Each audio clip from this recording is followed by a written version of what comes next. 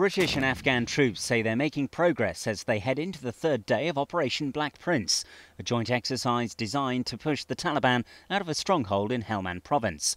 So far, they've discovered what they believe to be is a large cache of bomb making equipment, the lethal tools of the Taliban that have killed so many British soldiers. There was local intelligence from the, the local nationals that uh, one of the compounds had been used as an IED factory. Uh, so my team was sent in to search that compound um, and we actually found um, uh, component parts of IEDs. Aided by the Afghan National Army, soldiers from the 1st Battalion, the Duke of Lancaster's regiment, say their aim is to clear out the insurgents, improve security, and in so doing create greater freedom of movement for all. The locals seem actually uh, quite on side, uh, happy to see us.